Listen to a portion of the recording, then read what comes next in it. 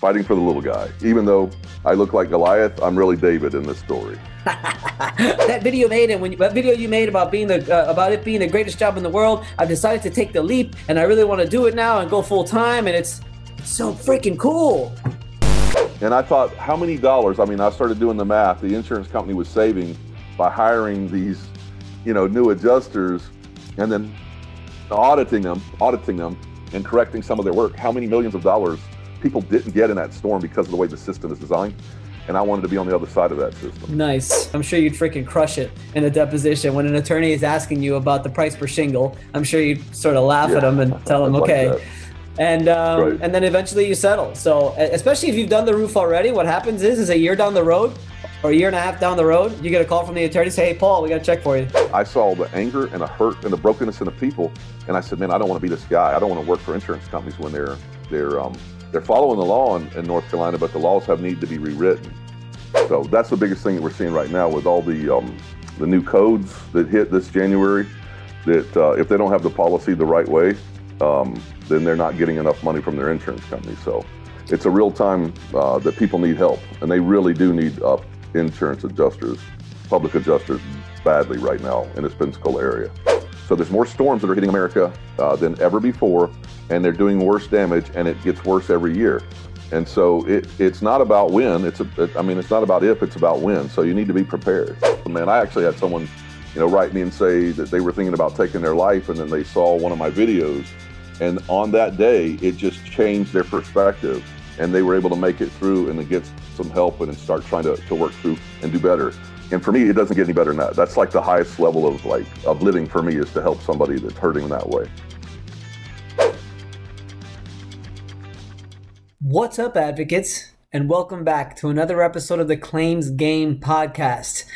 We've got an amazing one today, like I always say, but this time I mean it, which I meant it before. But seriously, it's a great episode today. Uh, but before I get into it, uh, just know that we are sponsored by Fortes Health. Fortes Health is an amazing company where you can get all of your PPE products, masks, gloves, face masks and all kinds of stuff, even for like, I don't know, gowns and stuff to protect you. Really, not only for COVID, but if you're a mold uh, person and you listen to the show, this could be a good place to get some of your equipment or just public adjusters in general. Again, even if it's not COVID, if you're going into a house, it's got a lot of mold and all kinds of stuff, it's still good to have a mask on. If you put in Vince 20 at checkout, you'll get 20% off. So give that a shot. Anyway, today, such a special guest. Paul Bryan. Paul Bryan is a roofer. Paul Bryan is a roofer in the Pensacola area. Paul Bryan has been working Hurricane Sally now for the last, I guess, almost a year now. Well, not a year. It's been about four or five months now. Uh, just crazy, just replacing roofs. One thing I love about Paul Bryan, he's a real, is he's a real advocate for the policyholder. Okay, he's a roofer going in there with people who have been underpaid and he's doing what he can to put together Xactimate estimates and presenting it to the insurance company and saying, hey, I'm a roofer and you owe this much money. He's a real advocate. Uh, I met him in Pensacola and we had an amazing connection. Uh, the guy is a world traveler. Uh, he is six foot eight. He has a beard down to about his belly button. And uh, he has over 100,000 followers on TikTok. That's right. He made a bet with his daughter that he would get over 100,000 followers in like a certain amount of time and he did it. He's just a cool guy. Uh, like I said, he's traveled the world. Uh, he's very is he's all about where we me and him connected is we're all about helping others and doing what we can to help others and just sort of the whole karmic life where if you do better for others, it will turn out good for you. And that's just how he is. Uh, he's got if you go to Viking Tower on TikTok, you can see all of his really cool videos. Uh, Viking Tower One on Instagram. Uh, he's got his own brand now called Unicorn, where he's got shirts that say "One Voice, One one love, one race. That's the kind of guy he is. And that's why me and him connected so much. And uh, we have a great conversation. We talk about all of it. We talk about the hurricane. We talk about roofs. We talk about insurance adjusters. And we talk about one love, one race, traveling the world, doing what we can to give back to others. And uh, he's just an awesome guy. I think you're going to love this one. We talk about his TikTok and everything. So it's really not only about roofing and, uh, and, and adjusting and, and insurance claims, it's actually a lot about life. So I think you're going to love it. So without further ado, my man, Paul Bryan. Welcome to the Claims Game Podcast with Vince Perri. Get all the tips you need from insurance claim advocates and professionals and grow your public adjusting career to the next level. And now, the commercial claims advocate, Vince Perri.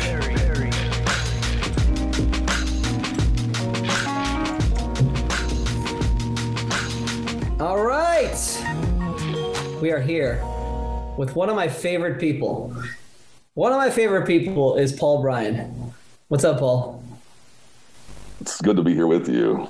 and the hey reason man, how's it going? It's good to be with you, Vince. The reason why Paul is one of my favorite people is the funny thing is we've only met one time, but we had such a great conversation at just a little Starbucks, having a couple cups of coffee. I mean, we talked about roofing, we talked about claims, we talked about life, we talked about South America, we talked about homeless kids in South America, we talked Right. about all we talked about the freaking Bible. We talked about love, and uh, and it was awesome, man. So thank you for coming on with me, man.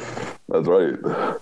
You got a good memory, bud. Hell yeah, I got a good memory. How, Yeah, it was how can, how can I forget a conversation like that? It's not every day that you connect with people. You know what I'm saying? Oh yeah, man. And uh, I knew right away you were good people, man. That's what the kind of people I like to deal with.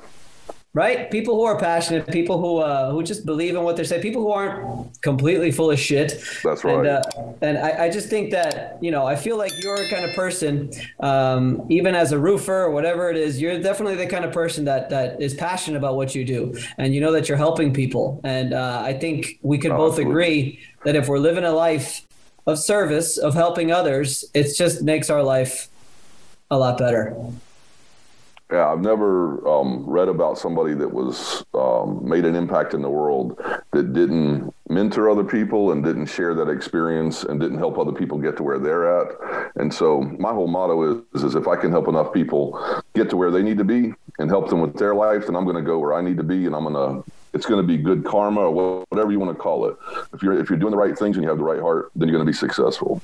I, I, I couldn't I couldn't agree with you more. You know, I mean, for for years, it's so funny. I was actually telling my wife yesterday. I was a tennis coach teaching Nice. kids for 15 years. So after I finished my playing days, played college tennis for for a couple years, and it was the best job in the world while I was in college was just teaching kids. But it turned out to like sort of a career. And from the age of 17 to about 32 years old, I was teaching tennis out on the course every single day, teaching kids, some adults here and there, but mainly it was kids from six years old to about 18 years old.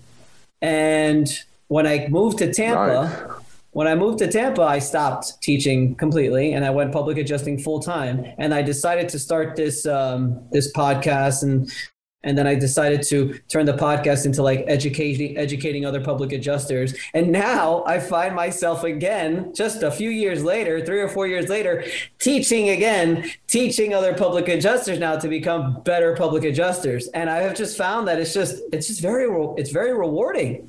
It's a lot of work, but it's rewarding. Yeah, you have a gift, you know, and you find that that gift, yeah, that gift rises to the top. I um I taught uh, in a corporate environment and did a lot of public speaking, and uh, then I got into ministry and I taught all over the world.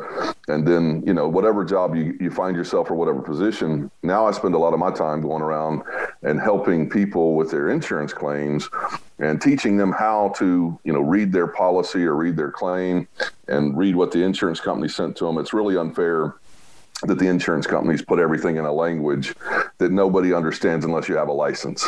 It's unfair. It should be illegal. It should be in plain English, but it's not. And that's why they need people like you and I to help them out.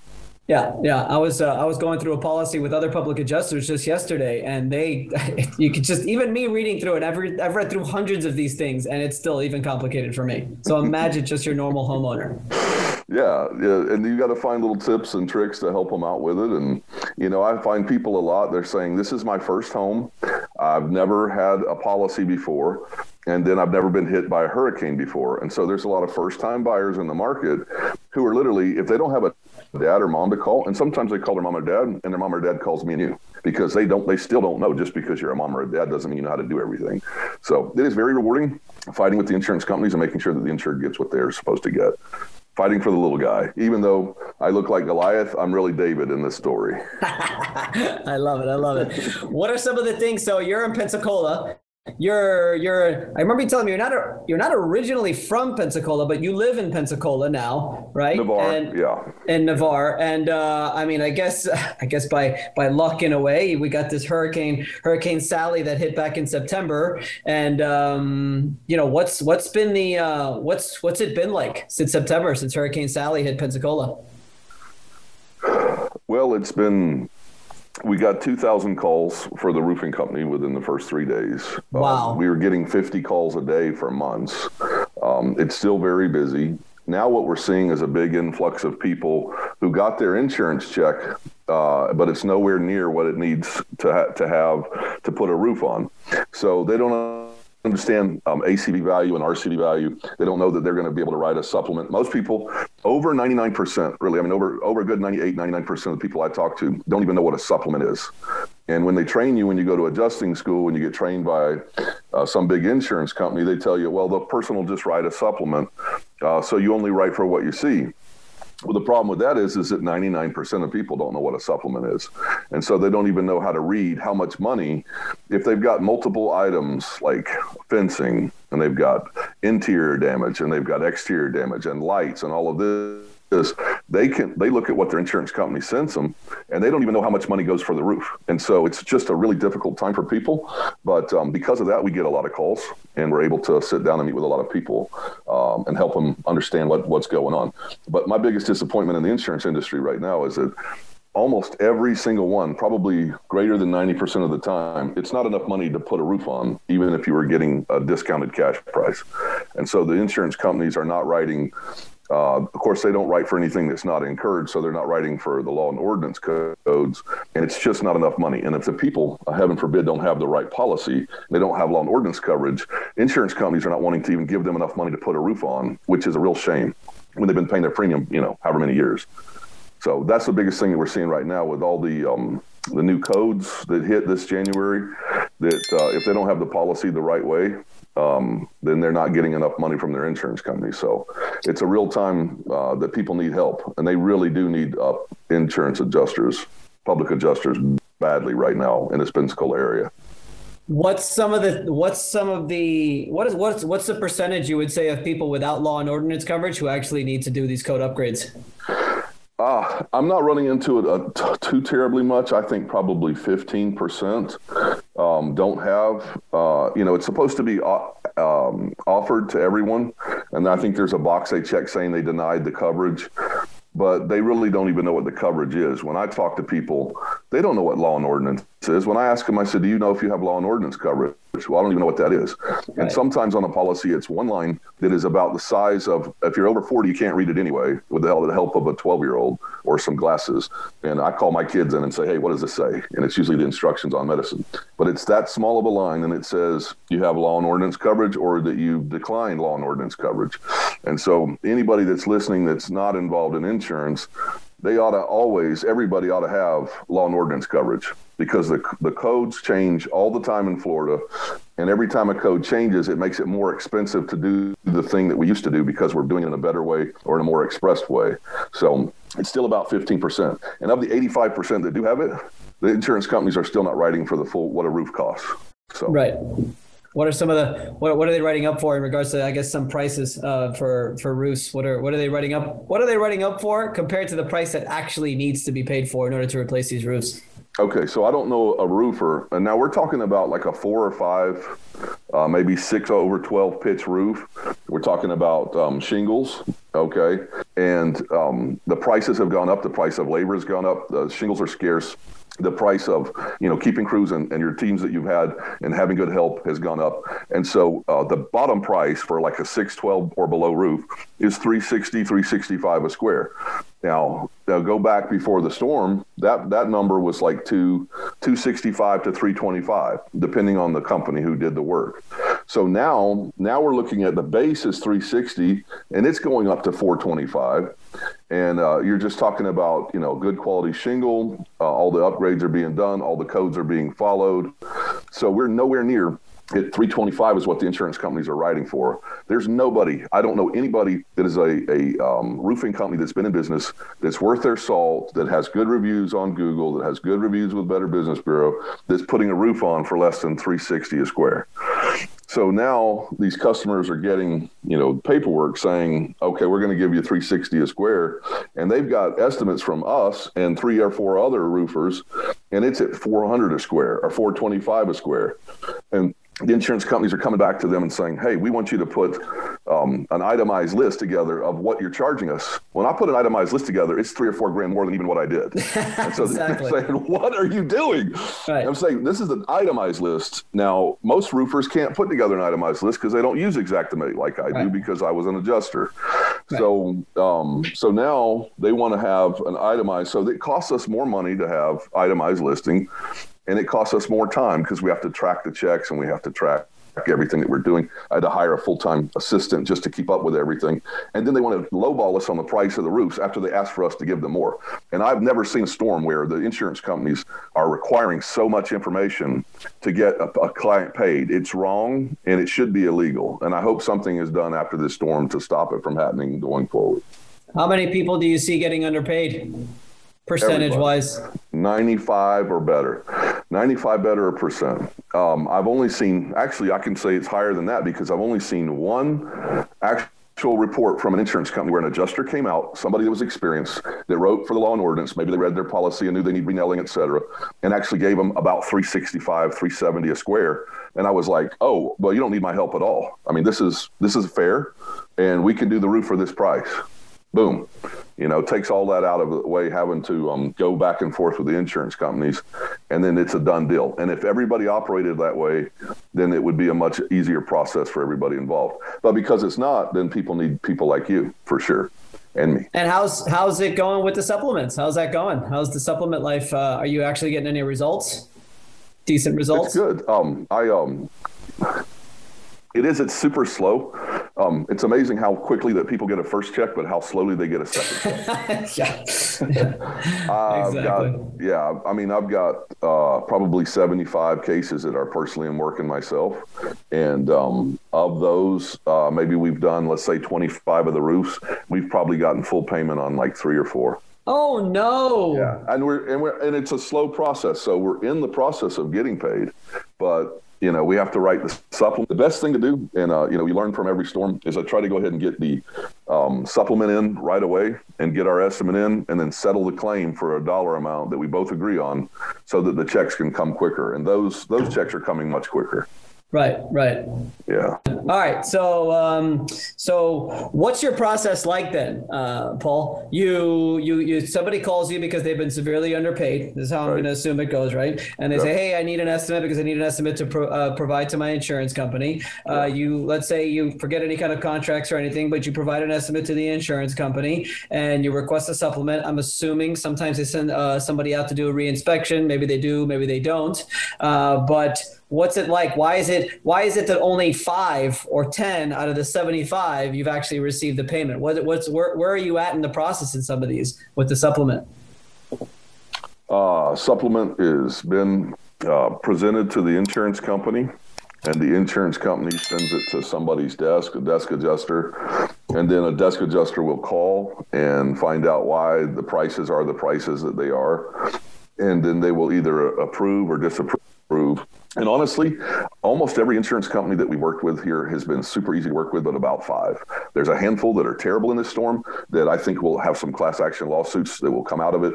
Um, there's some really people who are really upset because their insurance companies are making the process so difficult. Um, but to your to your question, if someone calls me and says, "Hey, man, I've been severely underpaid," and we, sometimes we sign a contract with them sometimes we don't. Depends on where we are in the process. We may already have a contract on a roof or a, uh, a, a price. Uh, sometimes if we don't have a contract and then I can sign the contract that'll let me um, work with their insurance company, then I present what we would call an estimate, which is, uh, you know, is the first offer of this is what everything would be when it's itemized. This is how much we want for the roof. And in every case, the insurance company, it goes up the ladder to somebody that has X, Y, Z authority.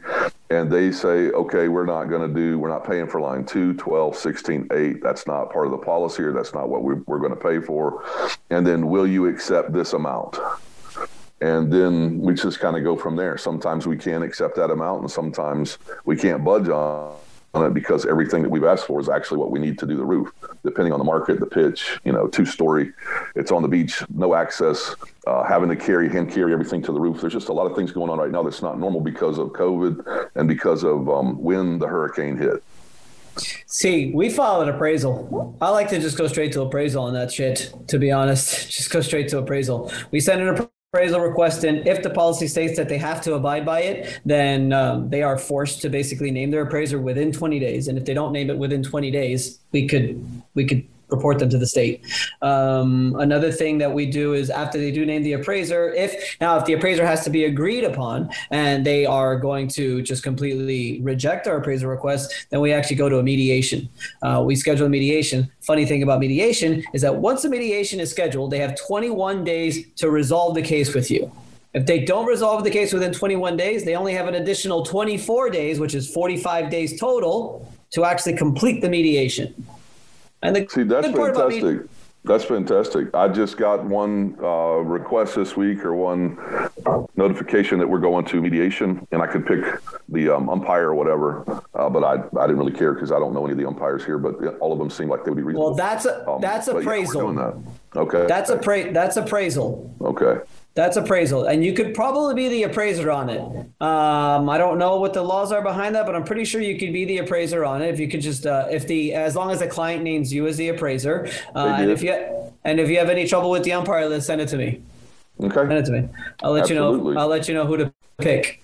Uh, or, or who not or who I'll let you know who not to pick too because you've got some umpires that you know they're I'll they're send fair. you an email after we get off of here. I'll yeah, send you an email on it. You've got some umpires who are fair, who are very down the middle, and you've got some umpires that are just in the pockets of the insurance company. But the beauty about the, the that whole appraisal process is number one, when you meet the appraiser out there, they don't have any kind of limitations. The good part with the appraiser is, um, although they are being sent by the insurance company, so technically they do work for the insurance company, so they may have some limitations here and there because they want to continue to get chosen as the right. appraiser. Sure. Uh, they whatever they say is final. It's not like when you meet uh, a field adjuster out at the property and the field adjuster and the field adjuster puts an estimate together for $100,000, sends it to the desk adjuster and cuts it down to $10,000. The appraiser, if he puts an estimate for $100,000, that's exactly what needs to be paid for.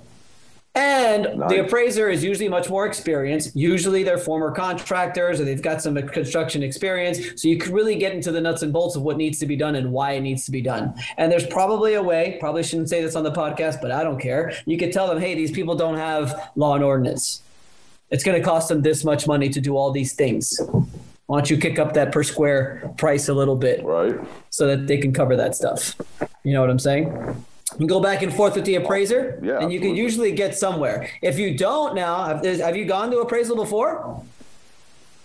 No, this is my first time. All right. So then now, so you're you're meeting with them. They're going to put their own estimate. You're going to present them your estimate. You have to go out there and meet them at the property so you can show them everything that's included in your estimate and why. If I were you, I'd print that motherfucker out and go line item by line item to make yeah, sure, hey, sure, this sure. is why I'm doing this. And they'll yeah. put together what they put together. Build a good, strong relationship with them, which I know you're good at. And then they'll put their estimate together and they'll send it to you and say, hey, here's where I'm at. You've got a little bit of room to negotiate there too. So if your estimate's at 100 grand and the appraiser comes back and say 80, 85 grand, say, hey, where where are we different? I may not need 100 right. grand, but I want you to get a little bit closer than 80. And then he'll see what he yeah, can yeah, do. Yeah. More often than not, me personally, I usually settle with the appraiser 85 to 90% of the time. Yeah. If you don't agree, warn the client you may want to cover this fee, but technically it's not a fee that you should be covering. If you do go to the umpire, that fee for the umpire is usually about thir- about $3,000 or so, and it's split 50 50 between the insurance company and the insured. So you might want to let the client know that if that if you don't agree with the opposing appraiser, that the umpire does come at a cost. But you have to understand that if you're at 100 and the appraiser comes in at 50, that 1500 is going to be worth it because you know you'll be able to get to, to the number that you want to. Okay. Which is the reason why you want to choose an umpire that is uh, that is fair because you could get burned because what happens is after the appraisal and after the umpire, whatever the umpire says, that's it. Claim is done. Claim is over. You can't even file a lawsuit. Wow. Okay. So this is your last chance. But I like it though because it's more relationship based. It's worked great for me. Uh, even though I'm not nearly as knowledgeable as you are on roofing systems and contracting, I've built such good relationships with a lot of the appraisers on the other side that when I do present my estimate to get to them, I'm usually able to get what I want. And I know a lot of the umpires on the other side too, and usually able to get sort of what we want and negotiate a little bit, have a little wiggle room, but we get what we want. So good luck with that. That'll be fun. Send me that umpire list. I want to see it. Thanks, man. no, I will send it to you for sure. Yeah. So, and those other ones that you've got a lot of trouble on, you know, you've got to start maybe thinking about not necessarily just hiring a public adjuster, but maybe even filing a lawsuit or, or recommending that they file a lawsuit on some of those. Yeah. So, how does that process work? Like, um, if they're dragging their feet to get paid and they haven't paid, um, and you've sent several requests and they've told you, oh, it's at a desk adjuster now. Oh, yeah, we kicked it back out. Oh, now Sally's got it. We fired that person. Now there's someone else is working on this. yes, we've got your supplement, and it's been two months. What's the next step to um to make the insurance company pay? Right. So you could go ahead and you could file that appraisal. That's one thing you can do. I would recommend that you do that. That's what I would do. Um, I mean, the work's thing, already done, though. Everything's already done. The roof's on. Wow. And they're just not responding at all. Well, I mean, it's it's very rare, but it does happen sometimes where they're, you know, we've put the new roof on, we've sent the certificate of completion, we've sent the final invoice, we've sent the supplement, and they're just dragging their feet paying it.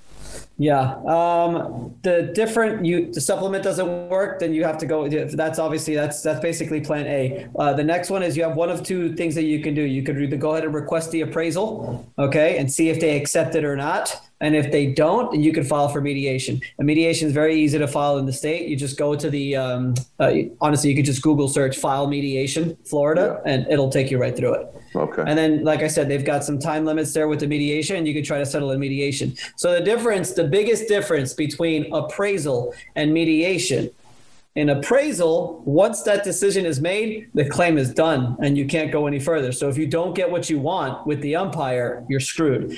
In mediation, you could sit down in a mediation, and if you guys don't agree, you could still go ahead and file a lawsuit. Okay. Um, what the lawyers usually do, usually they want to take on a case that's like, you know, they've been ignoring you. They're not paying what you're supposed to, what, what you're requesting. You've got a certificate of completion. You've got everything there, and they're still just sort of dragging their feet. Uh, then you want to get a lawyer involved. And what they'll usually do is they'll file a document, well, not a document, like an online document called a civil remedy notice.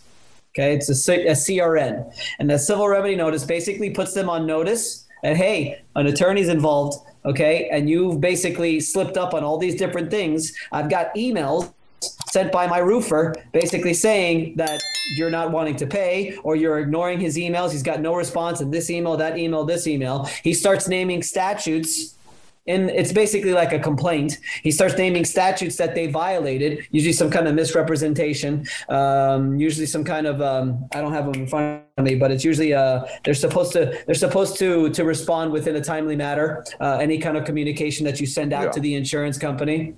Uh, so they put yeah. all these violations and it puts them on notice that they've got 60 days now from the time that this civil remedy notice is filed to respond and to make an offer to settle.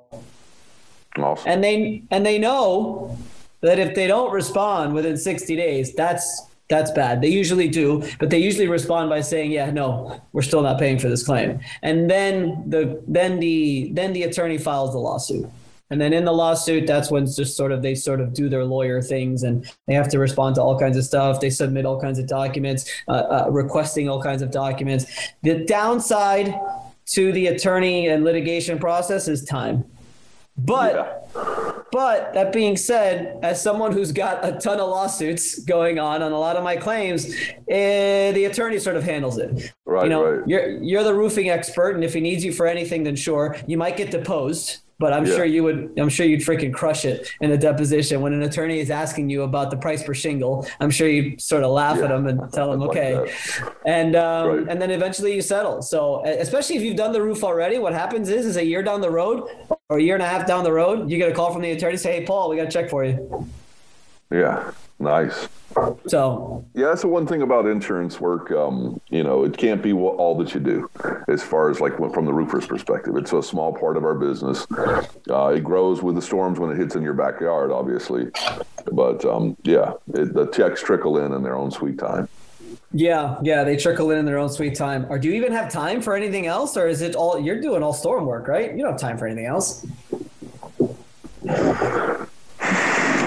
Yeah, no, just since Sally. Um, my I know what you have time for. Um, what's I know that? I know what you have yeah, time there's for. always time for that. Tick, no, you have time for TikTok. That's, what right. you have time for. Uh, well, For that's because those- like For those that do not know, go look up right now if you can. And if you're in the car driving, listening to this, then you know don't get an accident. But if you're at home in your office wa- watching this, you have you can go on your phone, get the TikTok app, which everybody has since COVID anyway. And I want you to uh, search. Uh, correct me if I'm wrong. Viking Tower One. yeah, Viking Tower Viking One. Tower. That Viking Tower. Okay, Viking, Tower. Viking Tower. Tower One is Instagram. Yeah. Ah, okay. Tower. But forget Instagram. Instagram, his Instagram is, is whatever. You guys got to go on the TikTok account. Yeah.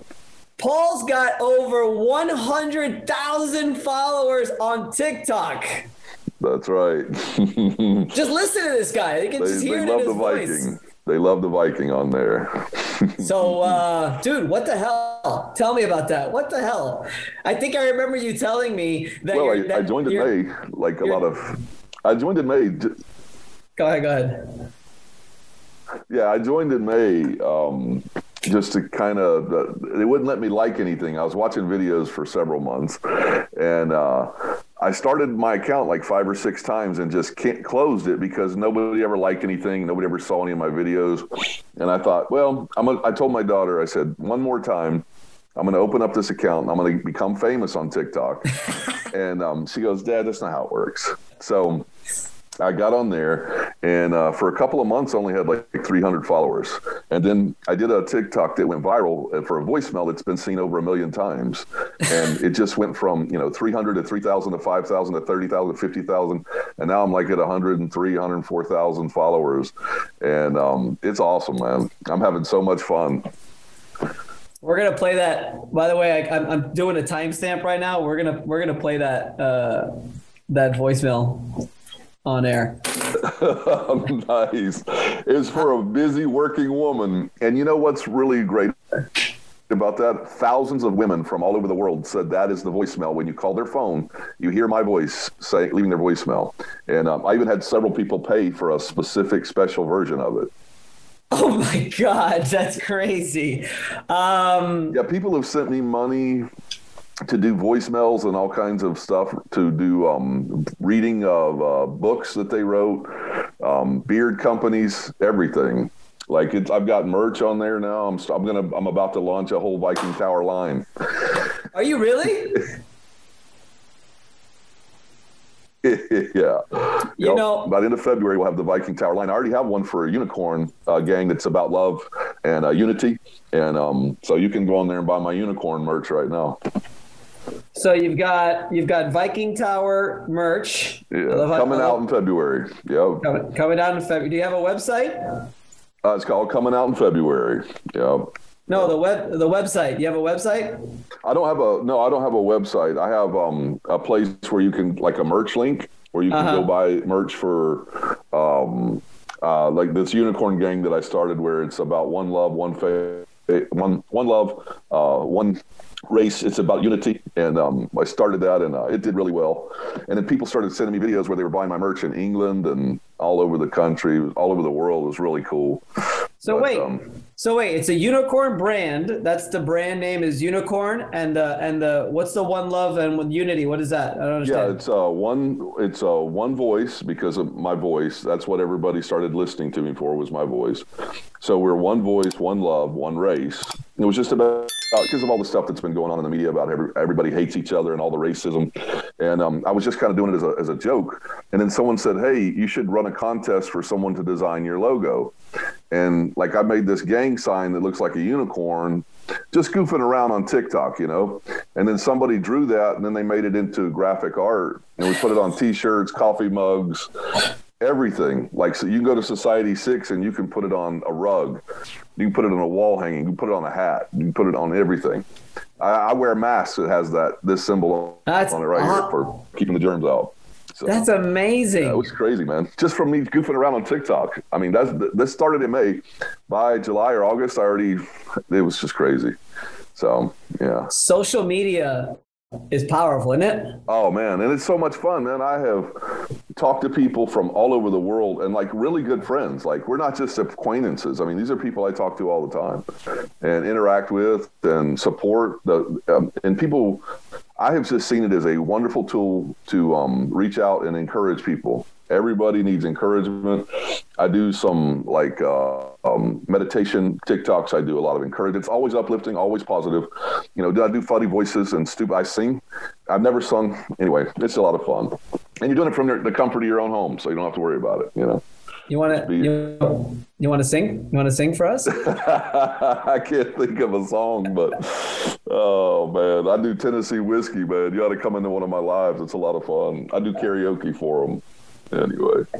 I mean, it's it's just crazy how how I mean I, I feel you. It's the same thing for me. I remember when I first started doing it, I would get messages from people, and you know that when you're when you're you know when we were younger back in the day when the internet started, I remember my parents would always be like, "Be careful, you don't know who you're talking to on the other side. That's just whatever. That's not a real person, you know." And I used to sort of have that in the back of my mind, but these are real people that message you and that message us. You know, these are real people with real concerns with real issues that are going and for me it's all public adjusting questions and and they're actual i get messages all the time paul uh, thank you for your videos so much. Because of your videos i decided to stop being a, a, an insurance company adjuster and i'm going to go do a public adjusting. I had this other one this guy doesn't know how to read he doesn't know how to write. So he's got this special computer where he's able to sort of dictate everything and he called me and he's just like thank you so much for your videos. I don't know how to read and write but i want to know if there's a way that maybe you can help me or whatever because i like to become a public adjuster. I want to be an advocate and I want to do this. Just people sort of like just like making life changes because I've made several videos where I say public adjusting is the greatest job in the world,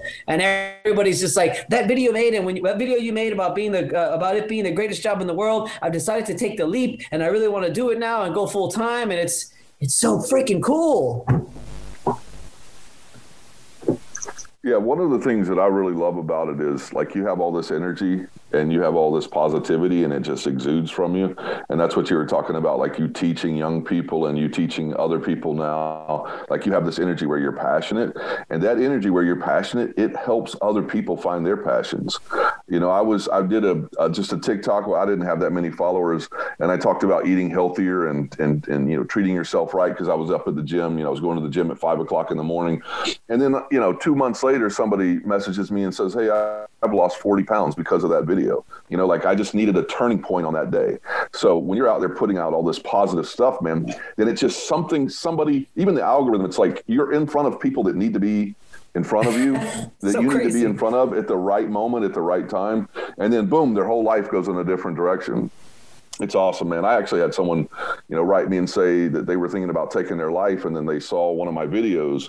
And on that day it just changed their perspective and they were able to make it through and then get some help and then start trying to, to work through and do better and for me it doesn't get any better than that that's like the highest level of like of living for me is to help somebody that's hurting in that way so What yeah, it's some- been fantastic man What's what's uh just to be I guess a little bit more clear? What's the kind of exact like what's the kind of content that you're putting out? What is it that is it just pretty much anything anything Well, I mean, random that comes to your head? Well, it's it can be random stuff, but I also do like um, you know, like self care. Like um, you know, one day I might be I might get up like I did a whole I did a night where I did like um where we talk about manifesting your future where you write down everything you want to see like some people call it a vision board or a dream board.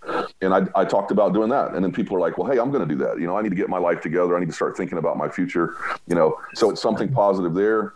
And then you know like i get up and i'm you know I'm, i want to do a positive meditation about maybe some breathing exercises. I'll do a video about that you know, one time I did a video on fat bottom girls, making the TikTok world go around because I like fat bottom girls, and it was it got seen over like two hundred fifty thousand times. You know, I never know what people are gonna like, but I mean, fat bottom girls are in in case anybody wanted to know. Um, but, uh, silly stuff like that. But even that was like uh, funny, you know, like people like the content because you never know. Like I'm, you might turn on my TikTok and see me doing some ridiculous voice because I've done voices my whole life, and it could be a Frenchman, it could be a cartoon character, and who knows what I'm going to say because I'm wild like that. And uh, so, but it's always positive, man. You know, you're never going to get on there and see some something that's going to make you feel down. You know. Right, right. What's your uh, what's the plans? You got any any not plans? Uh, who, who has plans, right? But what are some of the things that well, you see? brother, actually, we just started our own company. What? Well, like my brother and I, we started a company called Viking Towers LLC, and um, we're we're doing some management. We're doing a lot of roofing uh, management, and and uh, even with this insurance stuff, you know, trying to help people. I want to expand that. I want to do more teaching. Um, I want to help people, you know, learn what I learned. Uh, you know, if we had, if every roofer had this knowledge that I have on how to help people with claims and then how to get a public adjuster involved, then we could offer services. Is everybody, you know, it's like uh, weapons. You know, you, you have a lot of different weapons in your hand. You're not sure what kind of weapon you're going to need for that day. And the more, you know, weapons we could put in the roofer's hand to help people, um, you know, in storms in Florida, being a roofer, you're going to get work. You're going to have a lot of work. But you, what if you what if you could do more than just put a roof on? What if when you met with somebody and they were having a problem, you knew an adjuster you could refer? I think that's really big. I think like teaming up with you and being able to refer an adjuster that you recommend is super important because I know they're going to be vetted and they're going to be good people with similar energy. I don't want to just hand them a random. I saw a guy's name on a you know post somewhere, and then I'm going to entrust my customer to that guy. That guy might be a jerk, or he might be whatever. So networking with other people and growing this network so that we can imc- increase the business. And then on my personal side, with my own merch, and I'm doing more with voice acting uh, I've gotten a lot of opportunity and some offers to do some voice acting, and I, I like to do some of that and um, ex, you know expand the streams of income for me. That's and, what it's uh, all about. That's what it's about. Yeah, yeah. I, I want to see how many different ways I can make money. Yeah, yep. And I, mean, do some it, side hustles with the business and yeah, man, if you're able to make money online, I mean, it's what I tell my team all the time. I mean, ultimately, uh, it's like you. I mean, I know, I know, again, I know you're, you're a passionate guy. So you find the passion in helping others and putting on their roofs and helping them get the money that they need from the insurance company and so on and so forth. But at the end of the day, you know, what we're doing is a service industry and it takes up a lot of our time. If That's there's right. a way that we could still have that service industry as our sort of, you know, full time gig, but find a way that we could sort of make money while we're doing that or make money over here while we're traveling or make right. money over here while you and and I are talking, you know, that's the way to do it. And that merch idea, that's, that's right. really good stuff. Right. So, so you've got the one love, one voice, and uh, one race. I think that's that's freaking phenomenal. One of the things that we were talking about was just the the whole idea of just bringing people together, right? And uh, uh there's no reason why. I mean, I call it. I, me personally, I call it "Don't be a dick." I don't right. think there's any reason for why anybody should be a dick or an asshole to anybody, which is a reason why I think for me, honestly, it's one of the things that have made me successful in the insurance claim uh, business is that I'm not in it to, to fight with these guys. You know, I'm not in it. Thankfully, we live in a state where we've got alternative dispute resolutions where we could file appraisal, we yeah. could file mediation, or we could file a lawsuit. So when I go out there we, and meet with these guys, I'm just like, dude, you know, do what you got to do, write up what you got to write up. Uh, but let's try to get along, get along with all the appraisers, so I'm able to get sort of what I want. And I think we should just live in a world where we are. I'm going to buy one of your shirts. That's what I want to do. awesome. Is that what is? Is that what it says? It says one love, one one voice? One race, yep. Yep. That's what we have out now that's on the merch link on uh, TikTok. It's really I've really good stuff. I've, so I've been, I want to work with somebody local though that can make the make the merch for me. I've been to Thailand. I've been to Vietnam. I've been to Cambodia. I've been to Kenya. I've been to Tanzania. I've been to a lot of Europe. I'm not trying to brag right now. I just want to reiterate the fact that, yeah, man, we're all humans. Does it matter what color? Does it matter what language. One thing I realized when I went to uh, when I went to Thailand, and first time I went to Thailand, I felt like I was in another world. Everybody just looked differently. Because when you go to Europe, you know, a lot of our ancestors are from Europe, and it's mainly you know white race where everybody just sort of you know looks European. We all sort of look European. When you go to Thailand, yeah. and people look so much different than you do, and you realize when you're going up to a shopping mall and the person in front of you opens a door for you, or you drop something and they help you and they pick it up for you, you realize, wait a minute, there's a lot of common little subtleties that actually just are, are all the same. We might like some different foods and stuff, or we just have a different language, but for the most part, uh, you walk into somebody's home, they're going to be hospitable. You know, they're not going to just kick you out of the house. And that's no matter where you are. Some of the nicest people that I met were in Kenya. I mean, like super nice. And there was not one billboard or not one uh, advertising that I saw that had a white person on it. you know? Yeah, I've done just like you. How I came about this one voice, one race, one love is I've traveled all over the world doing um, compassion uh, projects and um, ministry work. And uh, my whole point, my my whole uh, point when I went on these different missions or different tours was not to make everybody believe the way that I did, but to show people that I had love for them and that it was unconditional and that I was there not because I thought they were wrong and I was right, but because I loved them and I wanted them to know that someone in the world loved them enough to travel five, ten thousand miles to try to help them. And so I found uh, the Sikh people in India um, were amazing, uh, filled with love. I went to Africa like you did, and uh, the Nigerians everywhere I went in Nigeria, someone said, "You are welcome here." And we don't greet foreigners that way. We don't greet strangers that way. And everybody in their culture did that. Then I went to China. I went to Beijing, Kunming, Hong Kong. Same thing. They treated me because I'm six foot eight and because I'm so big. They would just yell. They would just yell NBA, NBA, and then they would give me free stuff. So I really love China. I got a, the most free desserts I've ever gotten anywhere in the world in China. How dare you like China? How dare you? I loved it. How the dare Chinese you say people that? were awesome, man. And then I went to India and I was on St. Thomas um, Mount, and I must have got my picture taken with thousands, thousands of people because of my size. They thought maybe I was a wrestler or I was somebody famous or whatever. So I'm all over. Um, I mean, all over Asia in somebody's photo and no one knows why. They don't know why. They have no idea why. And uh, maybe because someday I'll just be known for spreading love all over the world. But uh, anyway, I just people are good people. I everywhere. know. Most people. everywhere. Yeah. And Anywhere you, can- go. you, you choose which one you want to be. yes, you do. Nobody makes you an asshole. You decide to be an asshole. Something bad happened to you that was out of your control. That's not on you, but how you respond to it, that's on Well, you. And that's how I live my You know, life. you got, you got a lot of people that they had, you know, you can't totally blame them sometimes either. You've had some people that just had sort of rough, rough upbringings, you know? I mean, there's been some, I mean, there's some nasty things that I've, that I've heard about, about what Yeah. some people have gone through, you know, and they're, they're Yeah. very jaded. It's affected them tremendously. But there's also Well, a lot I've- of people who have gone through a lot of those things who have been able to overcome it. That's me. And uh, I've been through a lot. And, uh, you know, people want to go toe to toe with, you know, how bad they've had it. And, you know, for me, it's been a gift because I could have been the biggest asshole, you know, self centered, self righteous person.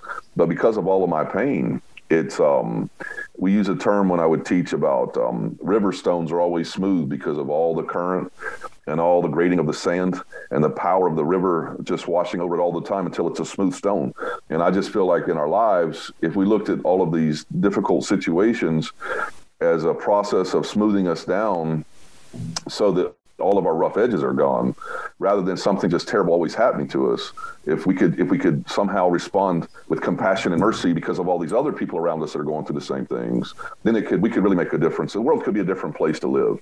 So that's what i'm that's what my whole movement is about. And it's funny because i got to share that because i said something stupid on tiktok yeah, pretty much. But that's not how we met. It wasn't through TikTok. no, no, no. But I mean, you know, it's just like um, everything happens for a reason, right? Everything. Like I believe, like when you put out good energy like that, and you're always trying to do the right thing, you're always trying to help people. That good energy comes back to you, man, and Yes. uh, and you get a voice. You know, you get a place to say what you want to say because you, you believe the way that you believe there needs to be more people like you that are successful that can reach and, and impact multiple thousands of people because we need that right now. We need unity and we need everybody to work together and we need insurance companies to do right by the people they insure and we need everybody to get a fair shake and that's why we're here. I wish. I wish. I, I mean, I, t- I tell the adjusters all the time. I'm like, just come on, guys. Like, what's what's the deal here? And the problem is, is it's big business, like anything else. It's a for-profit business. It ain't no non-profit business. You know what I'm saying? And one of their biggest expenses, unfortunately, is claim payouts. So they have to find different ways that they could just uh, underpay here, underpay there, 325 per square here, uh, detach and reset here, minor repair to that that part of the roof over there, one coat of paint over here and it's it's a fact. It's a fact that they have they have people looking into all those things making sure that they're cutting it just underpaying it here and there. I'm not saying anything new. I'm not saying anything derogatory whatsoever. It's just it's a fact that you know they underpay here and there. And when you've got 65% of people not disputing any of it and just accepting that payment i mean it's it's in their best interest to underpay just a little bit you add that up and you multiply that by millions of, of homeowners and millions of policies that's billions of dollars that they're saving well, think about this, and you probably explained explained this process before. But a hurricane hits, and an insurance company hires 200 adjusters of those 200 adjusters, maybe 25 have experience. I mean, really good adjusters with good experience. And that's a high number. So if you look at 175 adjusters, maybe they all just got their license in the last two years. They have no real field experience and they go for a three hour class or maybe even a two day class with an insurance company. And then you release them into the field. And I saw it's just like every business. You got overachievers like me and you that are going to try to do, you know, A level work their first day on the job and they're going to do whatever they can to get it right. Then you got people that barely show up and they're there to get a paycheck. And from that overachiever to the guy that's barely there to get a paycheck is sent out into the storm. And so those 175, think about if 10% were are, are the go-getters that's about 18 adjusters now what you're dealing with is you got 150 or so adjusters that are mid-level to sorry a lot of them will not be asked back. A lot of them will never return to another storm because they do such a bad job. And they're outwriting estimates for people who just lost everything. Everything. And so they, they'll write a check for $7,000, and the insured sometimes thinks, well, that's a lot of money. They have no idea. My insurance company did me a good job. Not when I go behind them and write it for 52000 or 30 57,000. Like there's so much money that's left on the table. And after I watched the process one time in my first storm, I said, I've got to get on the other side of this because this is wrong. This is this is built in where insurance companies, because of how they do this and how they hire, will leave millions, if not billions of dollars on the table that insured should have had. And they do that. Think about that in every storm, and that's just one insurance company with one, you know, group right. of 200. Right. There are thousands of adjusters that they're they're sending into the storm that absolutely are suck at what they do or have no training or, or just don't have the right experience or don't learn very quickly. And so there's so much money left on the table. And that's why I want to encourage everybody get a public adjuster, somebody that knows what they're doing, that has experience or works for someone that has a lot of experience and get what you're supposed to get from the insurance company because the insurance companies are not here to do you any favors, but you pay your premiums on time and they're supposed to pay out what they owe you when you're hurting and I, that just doesn't get done the right way. And so I love uh, what you're doing, and I love what I'm doing because we get to help people who are getting the raw end of the stick, the raw end yeah. of the deal for sure.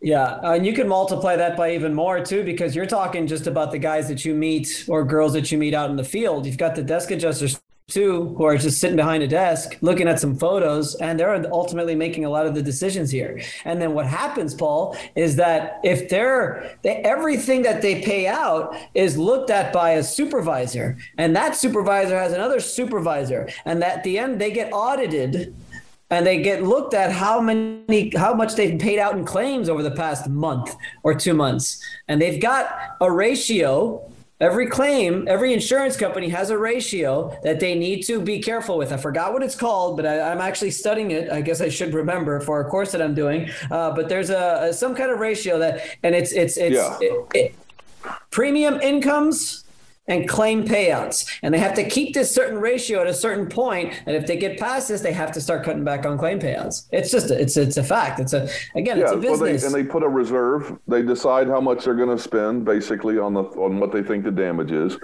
And think about it if if uh, now it just this this will blow your mind. Think about if you were allowed to they were allowed to hire surgeons like this that didn't have to you know they went to school but they didn't have any experience and they he would say to you, "Your surgeon may can remove your leg. Maybe he can't. Maybe he's never removed a leg. I don't know. We're going to just let him cut your leg off. We really don't care." Um, there's a lot of surgeons. You know, these guys they got their surgery license or whatever, and they so the systemically the insurance companies have built in a way not to pay what they owe. And don't don't you think that's wrong? Uh, there's not enough lobbying about that in the state, in the United States. It's a there, systemic issue that needs to be addressed. We need better. We need a better payout system. Everybody that's a new um, adjuster should be audited, um, uh, not the not dependent on the adjuster, but because of a training, you know, training um, opportunities. But um, people need to be paid properly. And uh, the way the storms are set up is the insurance companies are the only one that win. Is this your uh, is this your first major storm, Paul? Um, no, uh, I started. I went. Um, I, I, worked Michael with uh, the owner of our company, and I worked Michael from both sides. I worked Michael first uh, for a major carrier. You know, I'm not going to get into names, and uh, but we I worked in um, North Carolina and Georgia, and um, Georgia was devastated along the same route that um, uh, Panama City was because the storm just kept going. You know, it went through Florida and then went up through Georgia, Donalsonville. You know, I had one uh, one house that was had uh, 72 trees down on covered structures. There were hundreds of trees down, but 72 was on a covered structure, either A, B, or C coverage, depending on how it went. And um, so I saw the large loss stuff that happened because of Michael, but I saw it in Georgia and I saw just how lost everybody was and their policies. They didn't know what was going on. And then after I finished my deployment, I came back and worked for a year in Panama City selling roofs and helping people with their insurance claims. And um, man, it was that was so rewarding because people were really being taken advantage of in that storm. They just so, adjusters didn't know what they were doing. So you worked on the other side. You mentioned earlier that you were you were an adjuster for the other side. Yeah, I, I, worked as an adjuster um, for the whole deployment. I worked it in Georgia, and then when I got done with that, I went to work for the roofing company and um, helped people with their, you know, file their claims and get their their roofs paid for. But um, back before they changed the law, I would write for everything I saw, just like an adjuster, and they would be leaving 20, 30, 40, 50,000 dollars on the table because the adjuster didn't know what they were doing. They came out and uh, you know, wrote for some repairs and went into the next house and wrote for some repairs and got their 250 bucks or whatever and went to some next house and wrote for some repairs. Are you talking about, you're talking about your time as an insurance adjuster or when you were starting selling roofs? Well, I'm, I'm talking about when I was selling roofs, um, when we would go into the storm areas and someone would say, well, I don't have money for a roof, and I'd say, well, you know, here's four laws that, that would allow you to get a roof, and you you, you know, two of them you you uh, qualify for. And um, then I read all the statutes in Florida, and I memorized them, and I memorized the Supreme Court decisions about O and P. And so, like, I just became like a walking, you know, thesaurus about insurance work. And as I would go to get these roofs, I would say, you know, did they write for your cement that's busted up? Did they write, write for your tree remo- removal? Did you get paid for the work that you did? Because you can get paid for the time that you put in. You don't have to pay somebody else to do it because your time is also valuable. And having those kind of conversations with people and then just watching their eyes light up and be like, "Are you telling me that my insurance company should have paid for this, this, or that, and they didn't pay for that?" Oh yeah. And um and uh, at the time, I'd write for all of that stuff, and then I'd manage it. We'd do all of it. We'd do everything, and we'd get a contractor involved sometimes, and we would do we would manage everything, not just the roof. And uh, it helped a lot of people get paid in that storm. Very rewarding, very rewarding for Michael. So, Tell me about how did you make the switch so fast? Tell me about your time as uh, as the insurance adjuster. Tell me a little bit about that and why you made the switch so fast. I mean, I could only assume what your answer is going to be. But... I was president and C. Well, well, I was president and CEO of an organization for 10 years, and I wanted to retire from that where I was doing compassion projects and it was all 501c3 work. So I got my adjuster's license. And uh, because I met with a guy in, in Mobile, a friend of mine, he said, I think that's what you should do. You like to help people. Um, you're smart. You pick up things quickly. You'll, you won't have any problem with it. I got deployed at Florence in North Carolina when that, that storm hit and uh, kind of got my, my, my, my um, you know, got my nose wet, learned a little bit, started picking up a lot of things. And then by the time Michael hit, which was the next week, I was in my second deployment. We worked 15 hours a day, six and seven days a week for 31 days. And when that was over, by the end of that storm, they had given me the large loss um, uh, claims because of a good job I was doing. And then I would sit in the office with all the higher ups of the insurance company, and I was writing, you know, one hundred, two hundred thousand dollar losses by the end of that second storm. And the company I was with, I made the top 12 in the company. They asked me to come back for special training after that. And then I got special attention and special training. So what I learned from those two storms, because I, when I observe things very quickly and pick up on things very quickly, I saw what I just talked about, how it was built in, the the insured the insured wasn't getting a fair shot, and the insurance companies were relying on that. And I saw how poor the adjusters were that were out in the field and what terrible job they were doing. And I was already going on behind those adjusters in my own company and rewriting their their adjustments. They started sending me out to go behind people, and I had just started. This is my second storm, and I'm already auditing other adjusters. And um, I just remember sitting in a room one time with uh, one of the higher ups for the company we were working with, and he's going over. It was my second large loss claim I sent in. It was over a hundred thousand dollars, and it, he didn't have one correction on it. He, you know, he said this. I've never seen anything like this, and I'm not trying to brag about it. I'm just saying I picked it up quick. And um, he, he said, This is exactly what we're looking for. And he used it as an example to, for the whole group that we were with. And, and even with all of that, what I didn't like about it is, is I could see that there was only maybe uh, two or three people in that whole hundreds of adjusters that could do that. And, and what really got me about that is what about the, all the other people that they were helping? Everybody had 50 claims. Right. So a thousand claims, you got the bottom 10% of the people writing for you.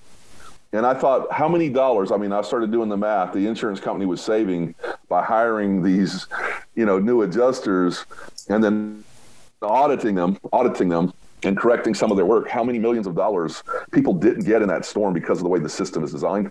And I wanted to be on the other side of that system. Nice. I just don't want to be a part of that, you know and as much as I enjoy being a part of it because I could help the the insured, I could just help one person at a time, just a little bit at a time, versus you know now you know I'm on here talking about it. I want to help a lot of people, you know, get get paid. They need to get paid. It's wrong what the insurance companies are doing, and somebody needs to make them pay.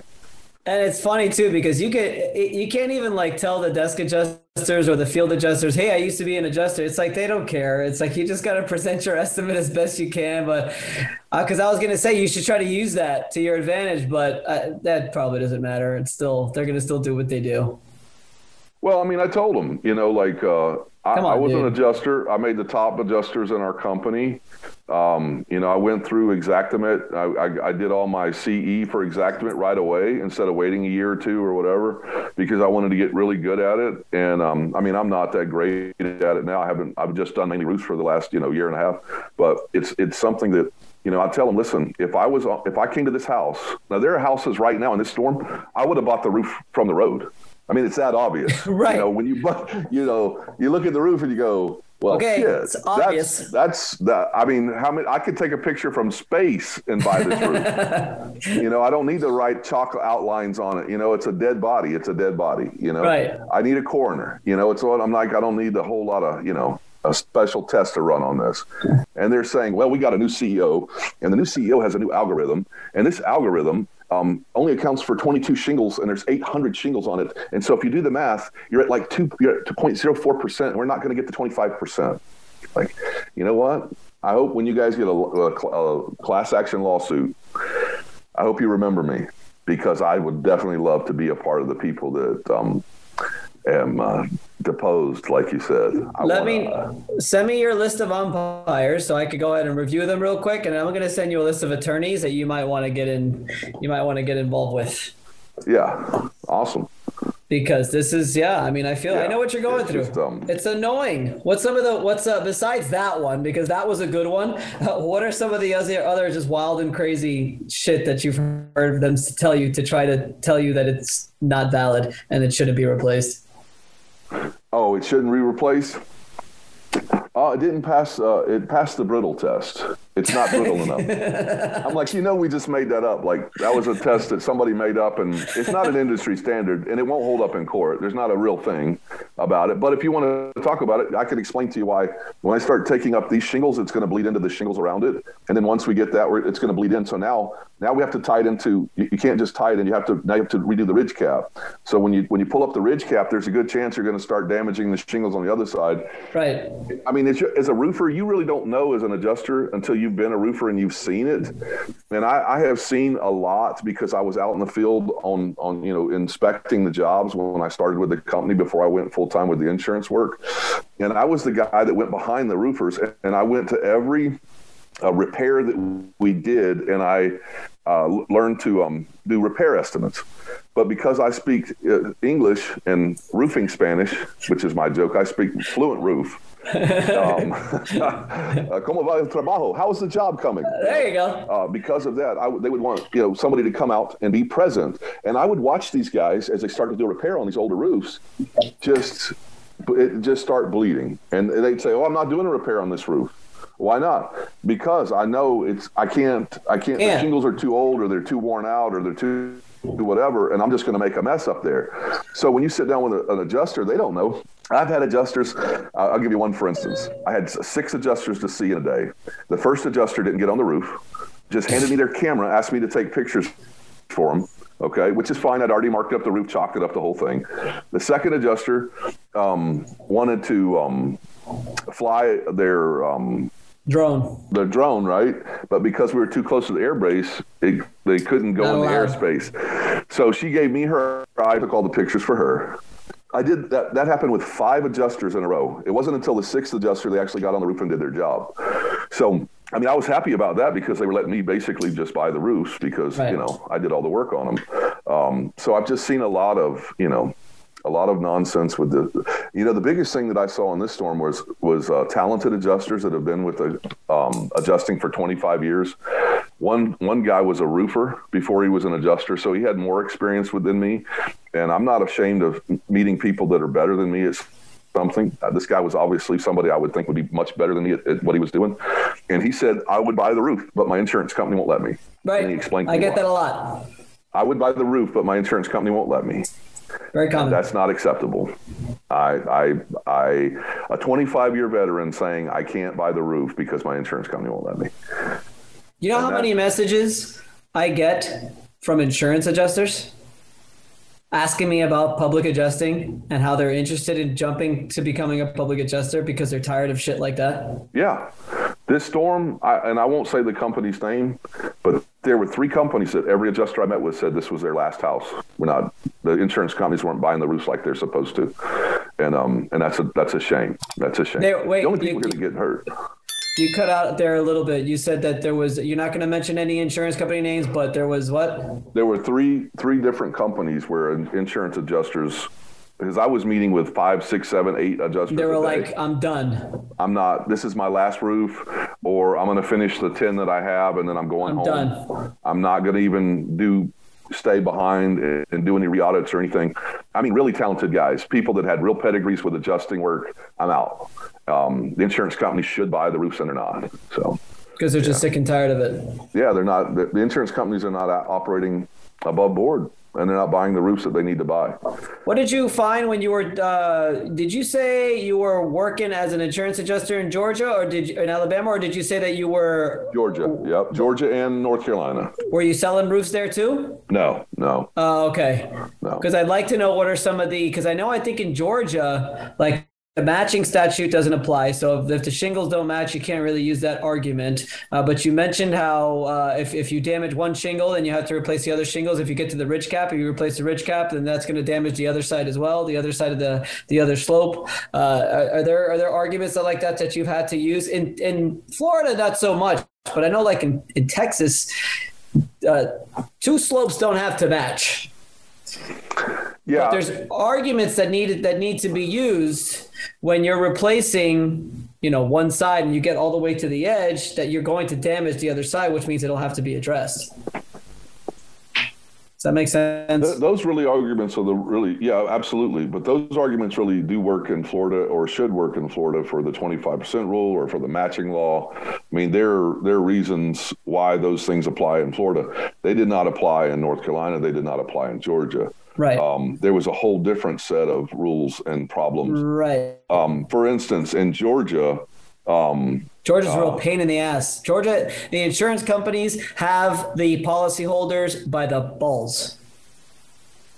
From what I've heard. Yeah, well, what I learned about this is one of the reasons why I, I thought about I wanted to become a public adjuster, or at least get in on the other side of it, which I'm able to do now with the roofing company.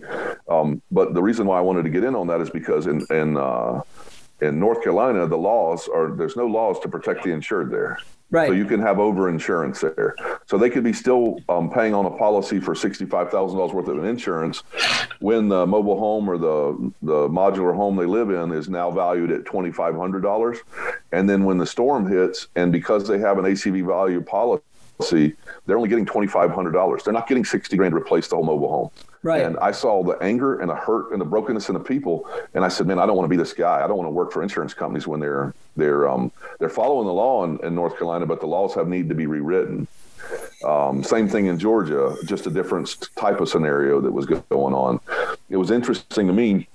If the house flooded and you lived in a mobile home, they'd pay for your pump because every mobile home had flood coverage. But if you lived in a regular home, there was no flood coverage for you. So certain things you, you, needed a flood if you were in a mobile home, and if you were in a regular home, you needed wind damage. Yeah. It was just interesting to see how the policies were written for different things. And if you were in the wrong place at the wrong time with the wrong storm, you got nothing.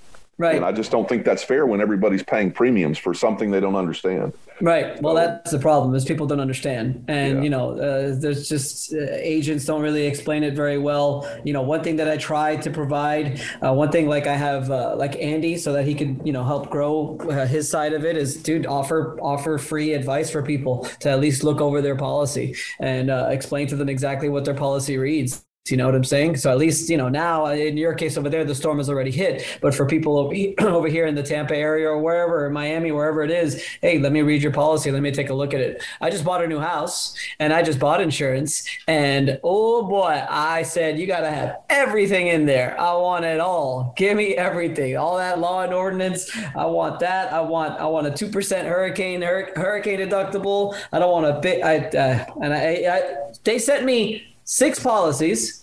Five out of the six policies had limitations on water damage and a 5% hurricane deductible. Five out of the six. I'm like, guys, uh, you know me. I'm Vince. I'm the public adjuster. Why would you send me this crap when you know I'm not going to take that shit? And then I've got a pool right. in the new. I got a pool in the new house.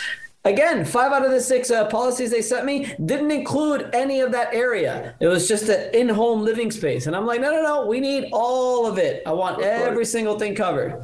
That's right. Because in Florida, it's not if we're going to get hit with a hurricane; it's when. Yes, sir it's when. And uh, if you follow the trends for the last 10 years, the last 10 years, there's been more financial damage every year for 10 years in a row. So there's more storms that are hitting America uh, than ever before, and they're doing worse damage, and it gets worse every year. And so it, it's not about when. It's a, it, I mean, it's not about if. It's about when. So you need to be prepared. Are you gonna? Are you willing to? Uh, are you gonna expand your company to the point where you're you're gonna start maybe doing and handling different storms all over the country? Is that something that you would consider? Absolutely. Yeah. Me too. Yeah. Me too. Yeah. I, well, it's just it's so smart. Like uh, my whole thing is systems and you know i haven't done roofing long enough to, to develop the perfect system or the system that i think is the least amount of stress with the most amount of payback um, we, I hope to do that in the next year. Um, I want to know what should we be doing on Mondays, Tuesdays, Wednesdays, Thursdays, Fridays, Saturday, with not working on Sunday, and then you know try to come up with a system. Here's how you expand from doing five roofs a week to ten roofs a week to twenty roofs a week, et cetera, and then get all those systems in place. What does it make sense to do more? Own your own let's say dumpster business or rent dumpsters. It just depends on where you're at. It depends on the size of your company, depends on your overhead and all that sort of thing. So there's just a lot about it I don't know, but I plan on learning it as quickly as humanly possible and then putting a system together. And um, and then the other thing is the storm system. That's a completely different system. You know, how hail you, damage is a big one. Yeah, hail damage is big, but just like the whole process of I'm learning a lot from this storm on uh, paperwork and how to get things paid in a timely manner. And uh, man, when I re- when I get hit that sweet spot, I will be letting everybody know. Have you heard of Storm Ventures Group? Oh yeah, I was. I, I learned a lot from them. That's where I got most of my training initially. Yeah. Are you gonna go to the to SVG? Are you gonna go to the uh, to the big event they have in uh, March or April? I think it is over in New Orleans. You should go. Not this year. I don't have any plans to, but yeah, I, I really the SVG um, training is where I got most of what I do. Ah, okay. Um, I learned. Yeah, I learned. Um, uh, the owner of the company I work for now bought all the SVG stuff and became part of the SVG group. And um, and that was fantastic. It was really, really, really good. Yeah, I just I just got I just got involved with them now, so I'm going to be going to that conference tomorrow. I'm actually Oh, going nice. tomorrow. I'm going to SRC Storm Storm shit. It's called SRC SRC Right. Summit. SRC Right. Summit is what it's called, and that's going to be in Texas. But it's a bunch of storm people who just work a lot of storms. I'm trying to get better at it myself, to be completely honest. I mean, Yeah. I did I did a little bit of your storm over there. I did uh, pretty heavily Hurricane Michael, and then Hurricane Irma was just like just absolutely insane. But it's a, it's it's definitely definitely a good business to get Has a lot of great ideas, and um, Oh yeah, well, big he- time. he's um, he's got it. He's got it figured out for the most. He's part. got it There's figured out. What he does, and um, you know, like for me, it's like putting putting things into practice. and, Absolutely. seeing how they work and deploying your you know your own people right. you know it's interesting you can learn from somebody and you can you know have all these great classes and all these great videos and stuff and then you you meet somebody else and they have a different way of doing everything Well, you got to figure out the you got to figure out what works for you. what works for you and for me it, it's um it's uh, the least amount of input the maximum amount of output Hell I yeah. want to make it simple the kiss principle keep it simple Keep it simple, stupid. yeah Absolutely. Um, Paul, I mean that was awesome. We only went an hour. We only went an hour and fifteen minutes. cool bro Um, it just feels like five minutes with you bro Ah, get out of here! With you the same, man. You're you're you're fucking awesome. I'm really really grateful to have met you. yeah me Um, too bud i hope we get to do some more stuff together I think we will. I think uh, I have a good feeling that we will, one way or the other. Whether it be through insurance claims or Africa, it's gonna be something. that's right oh yeah man yeah I, we, there's a lot to do bro Yeah, yeah. So um, yeah, we'll definitely collaborate. Uh, send me uh, send me that list of umpires. I'm gonna send you some attorneys, and also send me I got, send me a link for your merch. I mean, I guess I got to go to TikTok to find that stuff. Uh, I can send it to you. Yeah, I can send you a link. Yeah, it's from Society6. But yeah, Okay. yeah, I'm actually working. I'm trying to uh, figure out a local company that can do the same thing. I went with Society6 because you could literally put it on a million different things overnight, and there's not a lot of money in that for me. Um, but getting my own merch line and then having somebody, you know, print it up my for for me and sell it directly for me is actually. Oh, they do everything for you. Oh, they do everything. You, I don't do anything. They just send money to my bank account. Do they take out a lot of money? All of it. Yeah, it's not really worth it. It just I wanted to get it out there, and I Oh, wanted to well, that sounds You know what I mean? It wasn't that part of it was just um really just to get it out there and get it in the public. Yeah. So you're gonna And then they did. you're gonna get out of it, then, right? You're gonna switch to something different, no? Well, I'm going to continue to do that. Like uh, you can, I'm learning a lot about social media, about link trees and stuff like that. There will be a time where I can, you can go get that merchandise for the Unity, and I'll, I'll be spending a lot more time on that as time uh, comes up in the future. But I'm really working on my own personal like Viking Tower brand because of the voice and because of all the cool stuff and all the cool people I've met. I've got hundreds and hundreds of people that are telling me, "Hey, I'd buy a T-shirt, man." You know, and so I'm we're working one. on a logo right now. So that should. Why haven't Why haven't you hired a virtual assistant? Uh, I really don't know. I, I, What do the I one? hell are you waiting? Of course you need one. Yeah. I I've got I've got three of them. But I've got one in particular, Milan. He's become famous now. He's I call him the Serbian assassin. He's in he lives in Serbia, and I call him an assassin because he's an assassin when it comes to marketing and social media. Nice. And um, I mean, we we should get together with him, and maybe he has some good ideas on how he can Yeah, help you have you. to tell me more about that, man. Like, No, no, no. Um, I, I Okay. think we should we should get with him so you could we could figure out some stuff for you. Um, I don't know if Milan has time because he's so busy with all of my shit. Um, but maybe we could find someone for you who could help you. Uh, Yeah. It's it's it shouldn't cost you too much. Um, but at the end of the day, even if it costs you something, it's gonna at least be valuable for your time, right? Like you said, you don't want to have you want to have minimal input, maximum output right, right. by by coughing up that extra money for an assistant, it's going to give you maximum output, and it's gonna. It t- it took me from like from here to here. I mean, Milan knows it. Uh, it- I met you because of him because he was doing all the LinkedIn stuff, and I was able to meet you like that. And um, I think you can easily find somebody who could help you just take over, not take over, but at least help you a lot with that side of the business so that you don't have to do so much. Because once everything is up the way it's supposed to, that's just going to be a cash machine. Yeah, man. And if you could take even a virtual assistant, whether they're in Serbia, the Philippines, China, or whatever it is, you could still offer them maybe a small little percentage so they feel like they got some skin in the game and they're going to do whatever Yeah. they can for you. Yeah, I'd have no problem with that. Yeah, oh yeah. So yeah. let's get let's Yeah, get together yeah. with Milan. Where, so where did you find that? Yeah, please. Yeah, let's Up- do that. Upwork, upwork.com. Okay. Let me write that down. What you do is you want to basically put a description of, let's say, like a virtual assistant that is a, uh, I don't know, uh, social media marketing, and uh, well, you're doing um, merchandise sales. You're doing something different. Uh, so you want to find a description online uh, of, of the type of person that you're looking for and the type of things that you need them to do. Be as specific as possible, and then you basically put that into Upwork. It's going to come up with a bunch of different candidates. I would recommend personally, and you as a world traveler would would understand, put out of the U.S. because you're going to save Right. a lot of money that way, and um, right, right. get somebody who's willing to work for you. And what's it called?